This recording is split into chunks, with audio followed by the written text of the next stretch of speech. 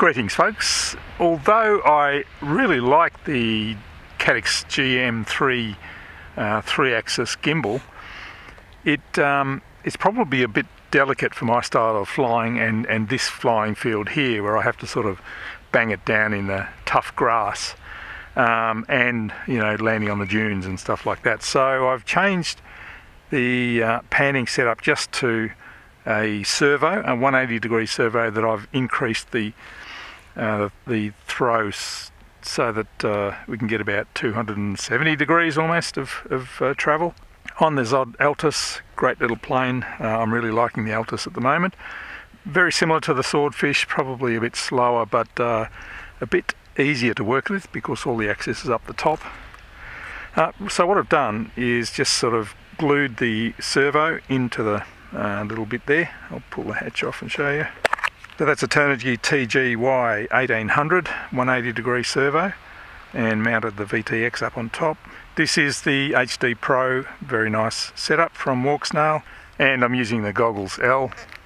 Uh, no head tracking, just uh, PWM control of the pan which is probably better for my situation I would say. So let's go for a bit of a fly on this strange, calm, misty day, but uh, let's go and see what the pan servo looks like.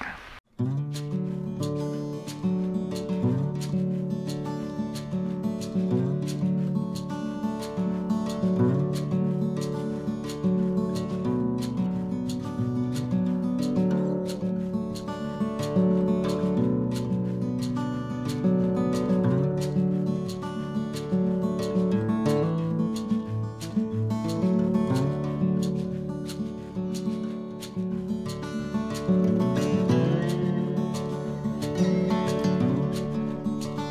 you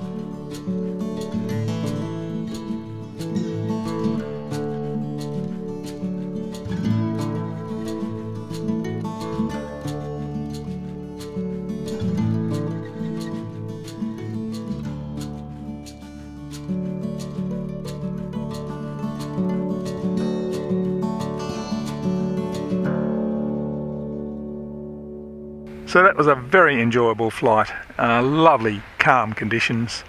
Thanks for watching. See you in the next video.